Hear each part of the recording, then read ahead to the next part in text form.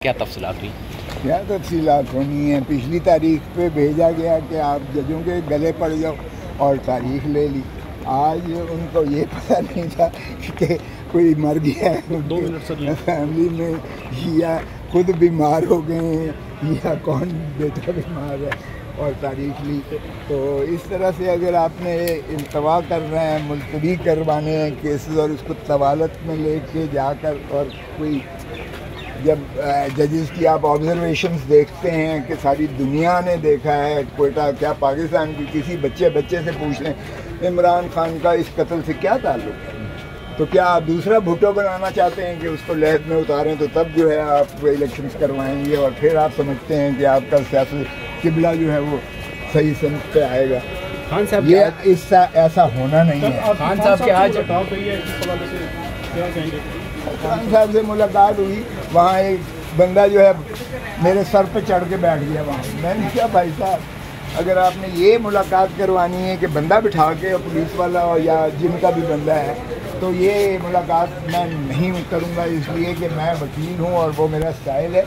ये हमारा जो है एक बड़ा तकदस का रिश्ता होता है, जिसमें प्राइवेसी होती है हमारी।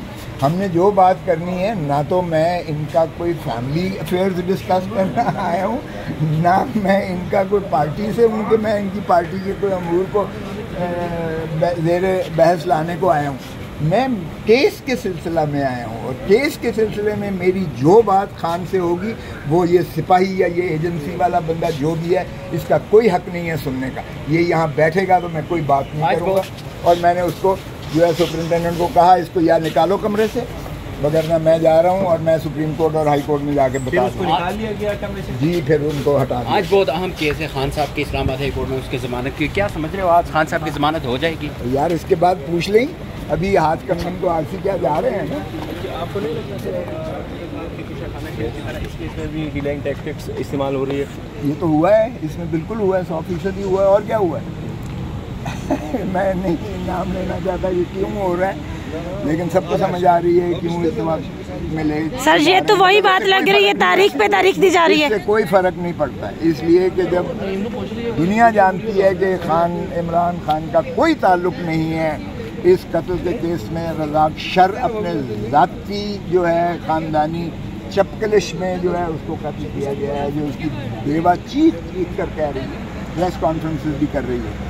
और अगर ये प्राइम मिनिस्टर सबका वज़ीर अजम के जो स्पेशल असिस्टेंट हैं अगर वो एक घंटे में कत्ल के और सारे चैनल आपके इंटरप्ट करके आपने सारे चैनल ने अपनी सारी नशरियात रोक कर उनको पूरे पाकिस्तान में ये चर्चा करते हुए सुनाया गया कि इमरान खान ने कत्ल करवाया है इमरान खान ने कत्ल किया है इमरान खान को कातिल करार दिया जाए इमरान खान को कैफर किरदार तक पहुँचाया जाए इमरान खान को लहत में उतारा जाए फांसी दी जाए।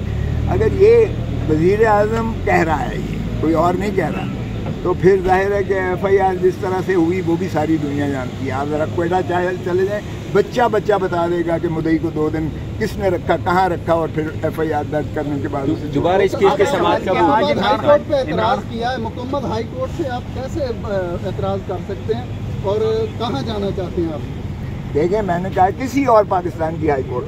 लेकिन चूँकि ये पिशावर और लाहौर ये करीब तरीन है इस्लामाबाद से हमने कहा है कि वहाँ सारे मुकदमात को मुंतकिल किया जाए। आज अगर इमरान खान रिहा हो जाता है तो क्या क्या दूसरे मुकदमे में गिरफ़्तार किया जा सकता है? मुझे क्या पता हो। नहीं कर सकते लेकिन अभी तक तो इनका वतीरा यही रहा है आपको पता है। कि ये जब एक से जमानत होती है दूसरे में पड़ सर वो तो पहले तेरह मुकदमात में इनकी हो चुकी है वहाँ पे क्या कंडीशन थी जो आपने जेल की तो वही कंडीशन है ना बी क्लास है वहाँ है ही नहीं जेल में। और खुला बाथरूम है और कैमरे लगे हुए हैं। ये शर्मनाक चीज़ है कि आप किसी को नहाने भी नहीं देते और किसी को जो है वो जो एक फितरी अमल होता है वो भी नहीं करने देते और उस पर भी आपने कैमरे लगाए हैं। शर्मनाक खान साहब की दाढ़ी बड़ी हुई है इस हवाले से क्या कहेंगे? वो एक दो दिनों से एक दो दिनों की उन्होंने शेप नहीं की हुई लेकिन वो अदरवाइज़ बहुत हाई स्पिरिट्स में थे और उनको अपने से ज़्यादा अवाम और पाकिस्तान की फ़िक्र थी।